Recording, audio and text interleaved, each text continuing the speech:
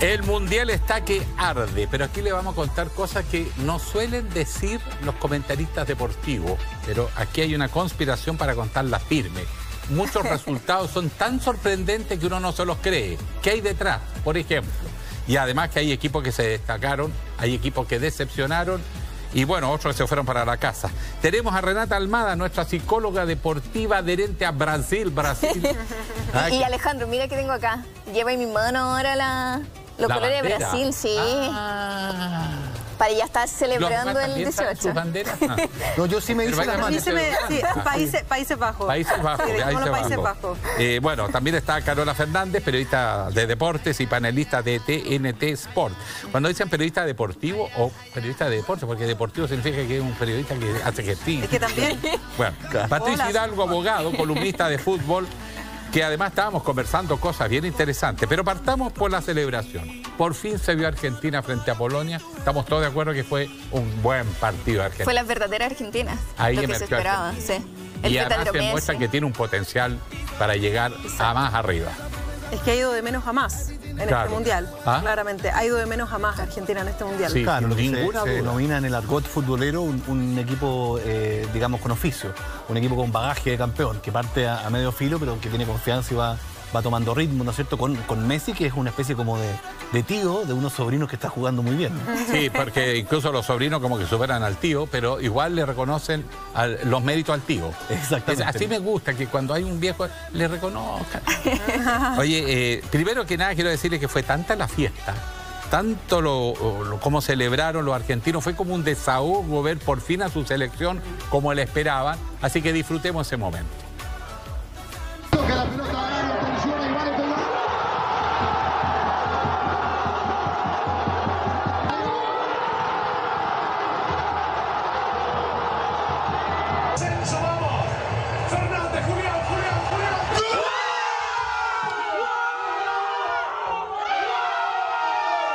Bravo!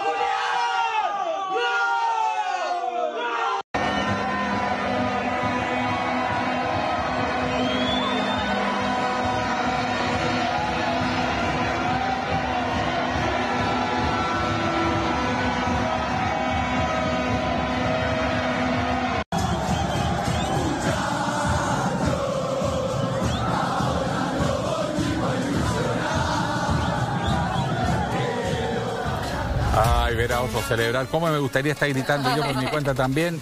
Pero eh, hubo un desahogo en Argentina, pero yo creo que era justificado y esperado. ¿ah?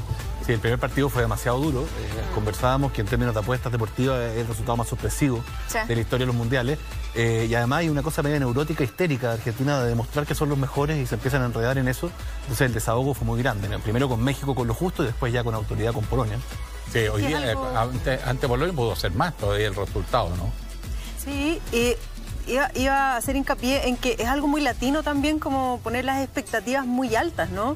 Eh, como un nacionalismo exacerbado en estas instancias de Copas Mundiales, Argentina ha sido campeón, no lo es hace mucho tiempo, entonces tienen muy depositada esperanza, sobre todo en el último Mundial de Messi, que es como la gran carga que, que, lo entregan al 10. Entonces, claro, en ese primer enfrentamiento con Arabia Saudita, que Argentina en ningún caso pensó que iba a llegar al tercer partido del grupo, la situación en la que llegó. Y pensaron que podían darle casi que chip libre ese día a Messi, iban a jugar los suplentes. O sea, Argentina iba a llegar clasificado según los cálculos preliminares y resulta que llegó Precisamente al contrario, ¿no? Todo ahogado. Ahora lo que, destaco también es el contrapunto, porque esas celebraciones del hincha, del factor pasional, pero la, la banca de Argentina ya demostró otra celebración mucho más cauta, más tranquila en comparación a los demás partidos, en que Pablo Aymar estaba Desecho.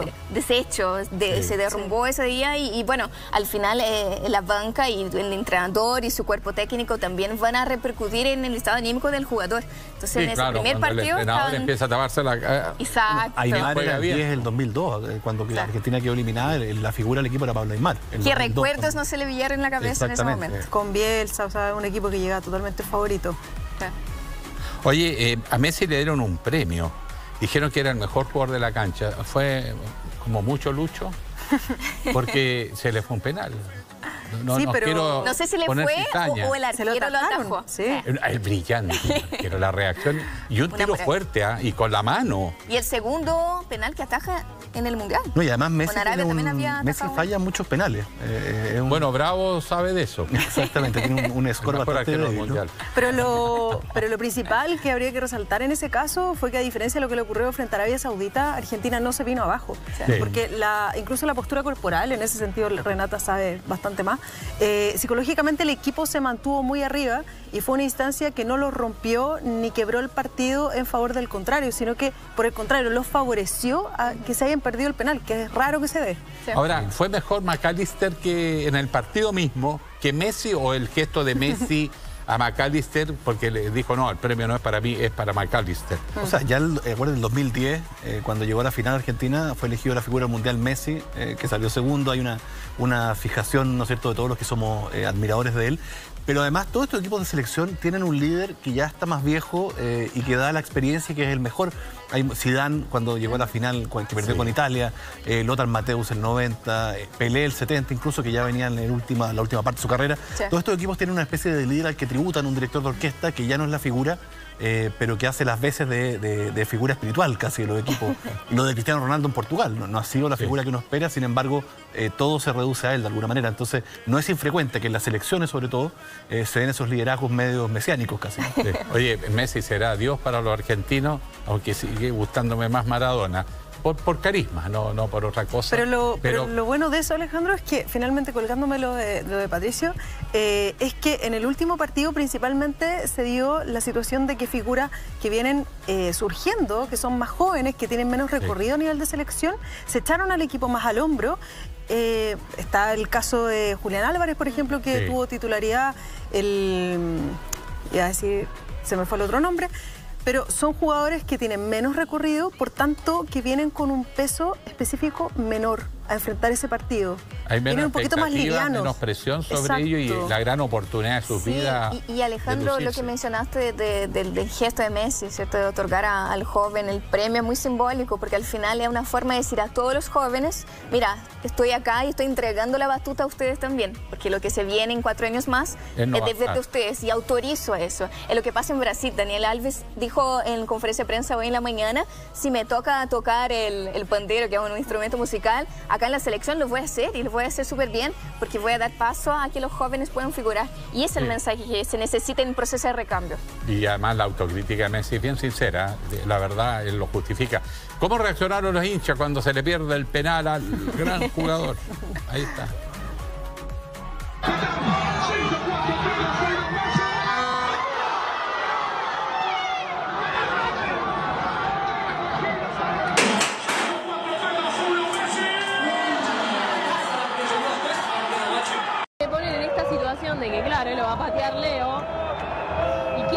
¿Entendés? Porque es Leo. ¡Ay, no! ¡No puede ser! ¡No puede ser! ¡No, no, no! Leo, ¿qué pasó? Reaccionando al penal que falló Messi. Messi! ¡Vamos! ¡Vamos!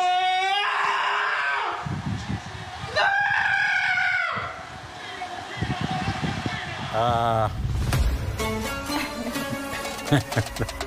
Yo me imagino que ha sido para que le diera un infarto, porque con toda la historia que traían de los primeros partidos, pero creo que fue el peor momento y ahí se levantan. Eso es lo que tú decías que no se desploman los argentinos esta vez. Igual también está la diferencia. el caso Caselli para demostrarle a Messi que se van a olvidar del penal, que son cosas pasajeras, ¿no? También. No, en Argentina se van a olvidar, a Carlitos Caselli no, eso, eso no, no, no, en Alemania no se puede hacer eso. Bueno, pero es que era la esperanza, porque... Ah, pero esa es otra historia. Alejandro, ¿sabes que dicen que, que ahora con el evento del VAR el ritmo del partido se pierde y por ende la concentración del futbolista y por eso hay mucho más eh, penales perdidos? Hay una mm. teoría que habla sobre eso.